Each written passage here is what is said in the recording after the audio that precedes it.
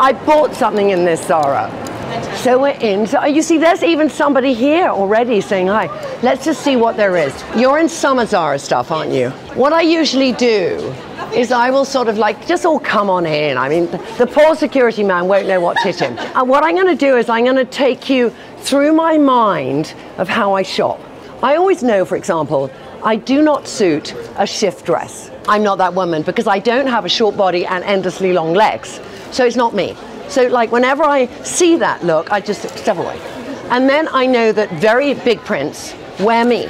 You know, small prints don't wear me. And I know that prints that are abstract I can wear better than prints that are figurative, like big flowers, you know. Whereas some women, a big flower print is a phenomenal on her, kind of a general rule.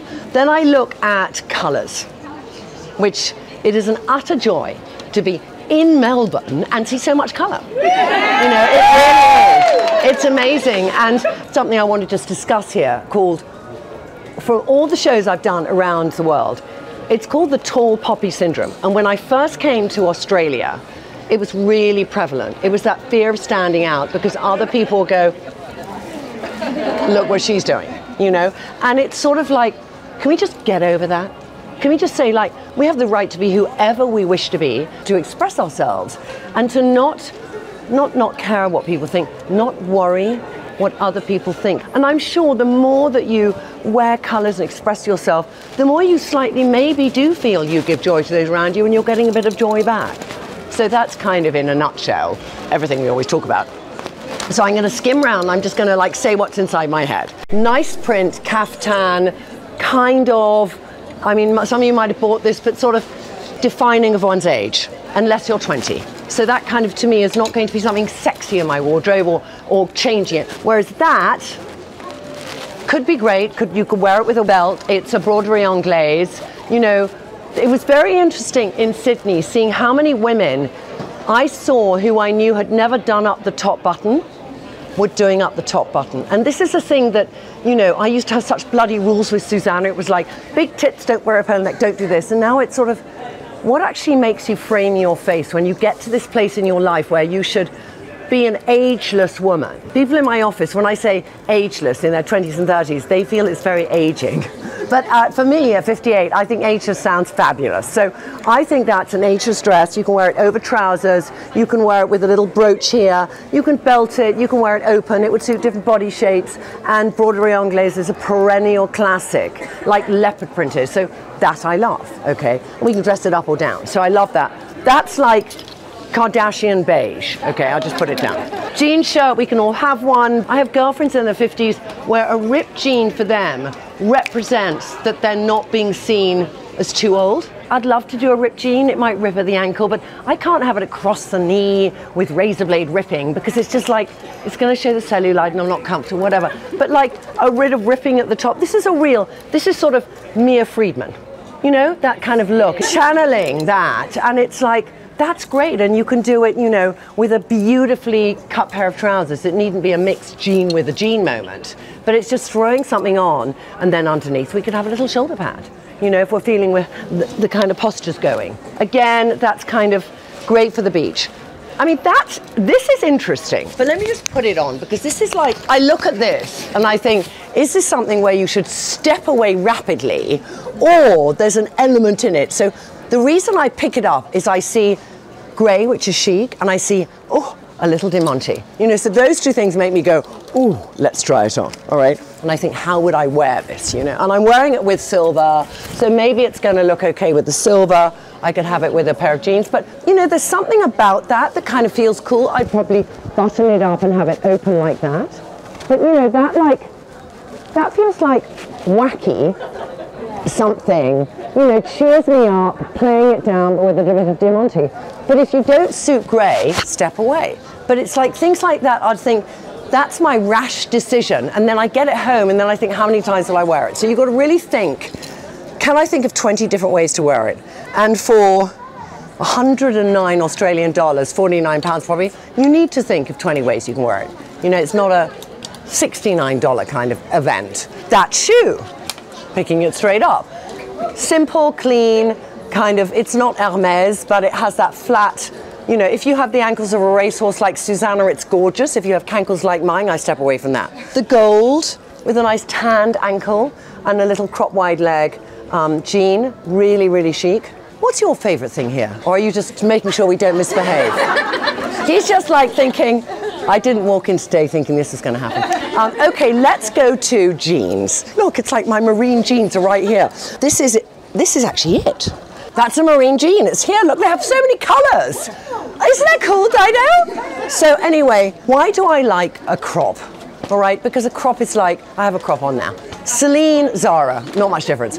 But the reason I like a crop is that it just feels a more modern jean. And I just look at both of these and I think they work. And if I wear them with a trainer underneath and I have a little bit of my ankle showing, I just think that this is a step on from a skinny jean. So I always choose these over a skinny jean nowadays. And that's what you've got to ask yourself as well. So just put them back now. There we go. Lots of colours to choose from. And now I'm moving on to jewellery. Zara always do great jewellery. Lovely earrings here, necklaces. They're usually about £19, $40, but it's a little accessory that can change an entire outfit.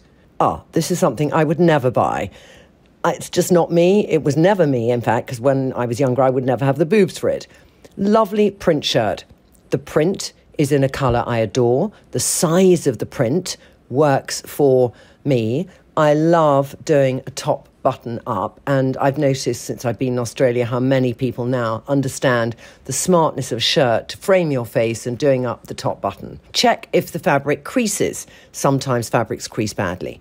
I'm feeling this one now. It's a bit creasy, leaving that well alone. Moving on now to belts. I love belts from Zara. This one is fabulous. You can wear it over a jacket and winch in a jacket that might seem old fashioned. It can update a dress that might have been a bit boring and been in your wardrobe for ages. Having the black on the outside will winch in your waist. These shoes. Now, kitten heels. Very on trend right now. My cankles do not work with a kitten heel. So I would never buy a kitten heel. Just goes too far in and my ankle is not going in above it. Whereas if you have a racehorsey ankle, you can take that little inverted heel. I have to be very careful with these. I love them, but step away.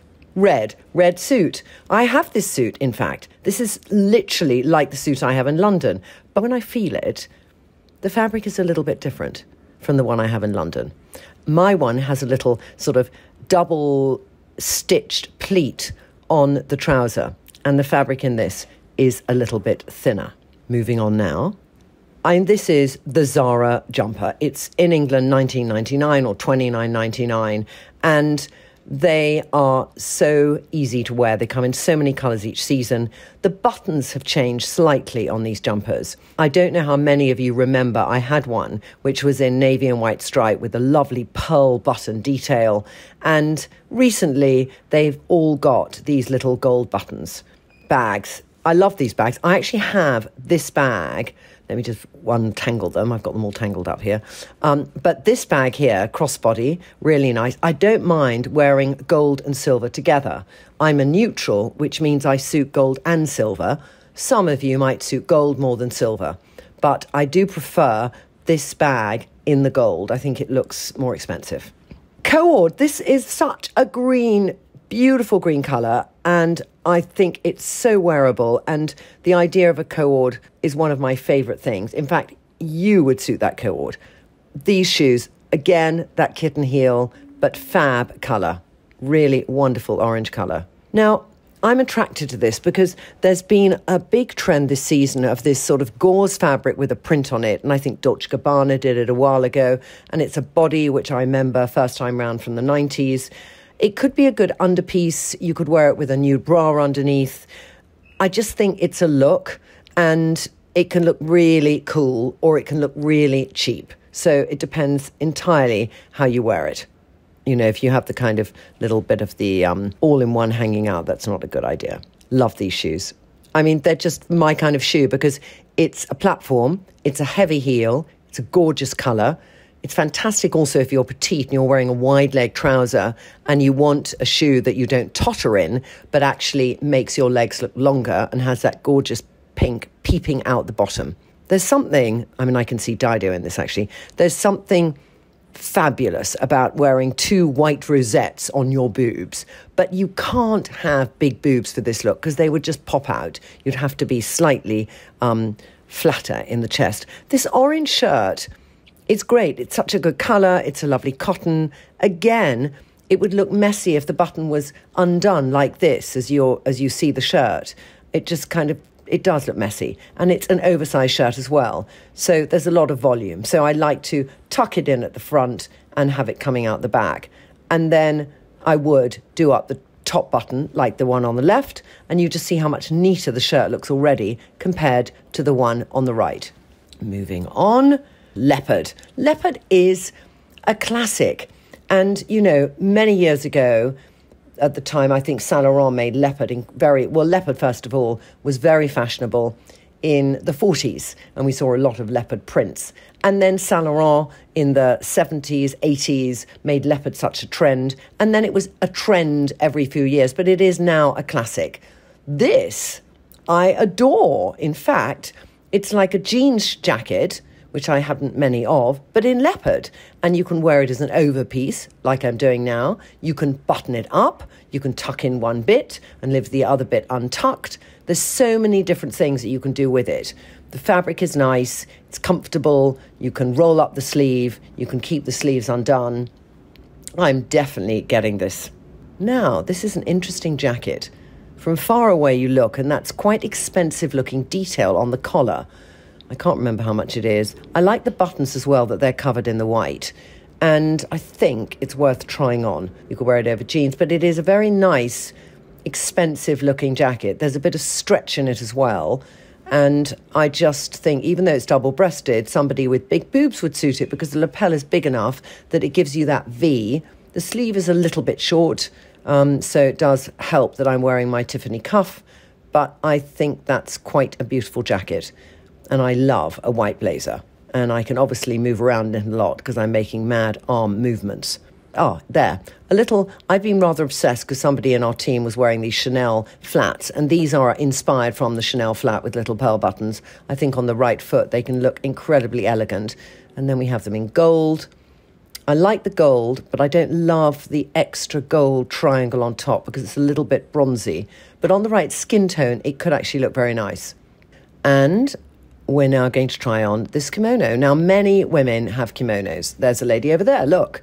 Fabulous. And shoulder pads in it. Now, when you wear kimonos, to stop them looking like a dressing gown, it's really important to make them have a proper straight shoulder because it changes the whole look of the kimono. And I just think, you know, you can buy little shoulder pads from Amazon, you can wear a shoulder pad t shirt underneath, but you can belt it the pattern is lovely. I just think it's great. So that was my little Zara shop up, and I hope you enjoyed it. And we'll catch up again soon.